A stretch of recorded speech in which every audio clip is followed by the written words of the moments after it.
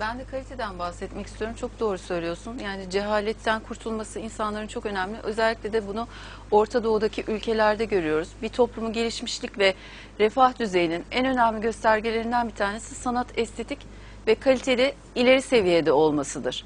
Biz neden ittifakla bütün dünya Avrupa'yı beğeniyor? Amerika'yı neden beğeniyor? Çünkü güzel bir kalite anlayışı var.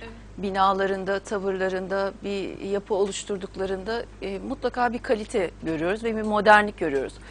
Bu yüzden hoşumuza gidiyor. İşte aslında İslam dininde sanata verilen önem çok büyük. Tarihte normalde Osmanlı'nın eserleri, bırakmış olduğu eserler bütün İslam aleminde görüyoruz. Eşsiz yani şu anda eşi benzeri olmayan büyük güzel yapılar var. Fakat yanlış bir kanaat olarak Müslüman aleminde bir kalite e, düzeyinde bir düşüklük var. Kültür seviyesinde bir düşüklük var. Bu normal bir şey değil. Yani bir insan düşünem yani şöyle bir karar veremez. Benim kimseye bir zararım yok. Ben tek başına bir kişiyim. İşte pejmurda gider, gi- giyinebilirim, bakımsız gezebilirim. Hayır senin böyle bir seçme hakkın yok. Sen tek olarak Müslüman camiasını temsil eden bir bireysin. 1, 2, 3, 4 derken milyonları bulan bir kalitesizlik oluyor. Yani bir toplumu temsil ediyorsun. O yüzden böyle bir hakkın yok. Zaten Allah bizden bakımlı ve temiz olmamızı istiyor. Kur'an ayetlerinde bu şekilde geçiyor. Zaten yani insanın nefsine ve vicdanına da uygun olan o. Tabii ki. Yani nefsel de insan ondan zevk alır. Diğeri farklı bir anlayış ve farklı bir şeyin peşine takılmaktan kaynaklanıyor. Tabii. Tabii.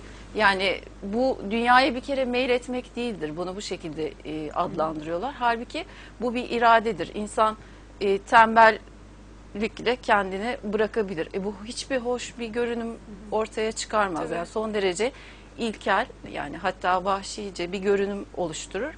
E, bir Müslümanın görevidir. Üzerindeki sorumluluktur. Yani böyle bir lider vasfı geliştirmesi. Dünyanın en modern insanlarından olmaya gayret etmesi. Kaliteli olması onun üzerinde bir sorumluluktur.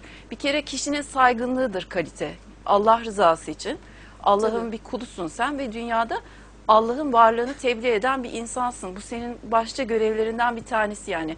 Herkesle konuşabilecek düzeyde bir güzelliğe, görünüme, e, kaliteye, kültüre sahip olmak senin üzerindeki bir ibadet ve bir sorumluluktur.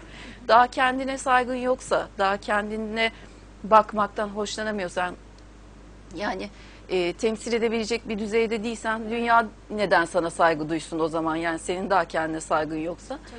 E, o zaman işte Müslümanların öldürülmesinin bir e, değeri kalmıyor. Yani rahatlıkla Müslümanlar öldürülebiliyor. Hiç kimse ses çıkartmıyor.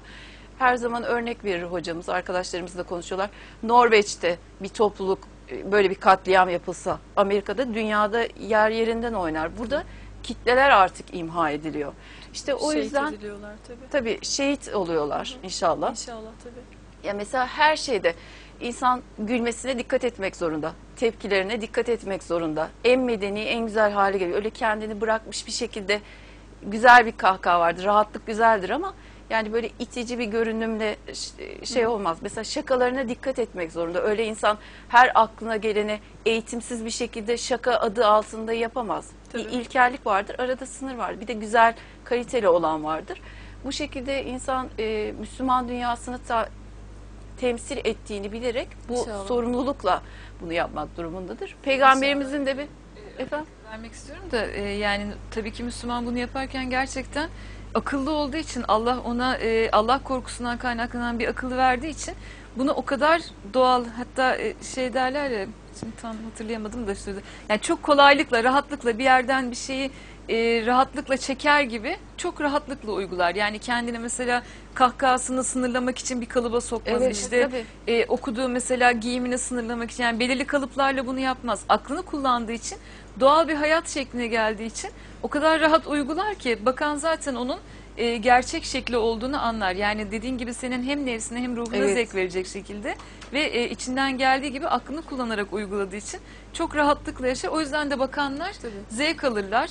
Kendi zevk alır, bakan da zevk alır. Bakan da örnek almak ister. evet tabii. O kadar İnşallah. güzel Çok güzel bir model oluyor. Dediğin gibi zaten senin size şu an muhtemelen örnek vereceksin. Peygamberlerde olduğu gibi e, her Evet. bakan nasıl peygamberlere Tabii. hayran kalır. Evet. Girdikleri yerde nasıl e, heybetleriyle, vakarlarıyla Tabii. ilk bakanın hemen daha bakar bakmaz insan olarak aşık oldukları bir insan Güzel. görünümü olur. Tabii. Akıl olur üzerlerinde, heybet olur ama mesela mimikler hep asildir. Evet. E, tavırlar hep asildir. Çok Gülmeler sıcak, hep asil, çok candan sıcak ama dediğin çok gibi. asil. Hep o yüzden de Evet. örnek olmuşlardı bütün insanları. iman edenlere de iman etmeyenlere de. Peygamberimizi anan çok sayıda ünlü yabancı düşünür var. Evet. İnsan kalitesi olarak hayatlarında bildikleri en kaliteli insan olduğunu anlatıyorlar peygamberimizin. Evet, maşallah. Bu da onun ahlakından ve imanından kaynaklanıyor. Hazreti hem kendi pe- bizim peygamberimiz Hazreti Muhammed sallallahu aleyhi ve sellem çok güzel bir örnek. Hem de Rabbimiz Kur'an'da Hazreti Süleyman kıssasıyla bize bunu anlatıyor. Yani Hazreti Süleyman'ın yaptırdığı yapılar, e, inşa ettirdiği saray, sana- verdiği, sanata verdiği, estetiğe verdiği, kaliteye verdiği önemi gösteriyor. Peygamberimizin de ayrıca bir sözü var onu okumak istiyorum. Allah güzeldir, güzelliği sever. Güzel giyinmek kibir değildir. Kibir, mazhar olduğu nimeti kendinden bilip hakkı reddetmek, halkı hakir görmektir. Yani kibirin giyim kuşamla, kendine bakmakla, eğitimle hiçbir şekilde alakası yok. Kibir beyinle ilişkilidir. Yani ki- kişinin ma- bozuk mantığıyla. unutup, tabii. Tabii Allah'ın verdiğini bir kere Rabbimizin sıfatı, sani sıfatının en başta sani sıfatının yani sanatçı sıfatının sahibi Rabbimiz.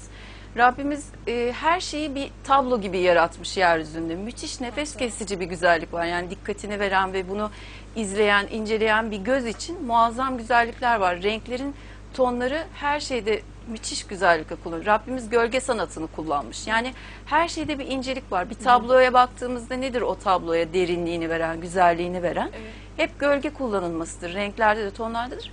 Meyvelerde, yeryüzünde, gökyüzünde, bulutlar, bulutta e, yani yeryüzünde Allah'ın yaratmış olduğu her şeyde Tabii. muazzam Elhamdülillah. güzel güzel, tonlarıyla güzellik vardır. Bir de e, en sade şartlarda yani bunun için çok fazla imkana sahip olmak gerekmiyor. Senin de anlattığın gibi ruhtadır kalitenin asıl başladığı yer. Yani ruhuyla insan o süsü kazanır. Yani en sade şartlarda dahi insan hiç e, maddi imkanı olmasın. O zaten kendi güzel vasfıyla, ruhuyla, kalitesiyle o hoşluğu oluşturur. İnşallah.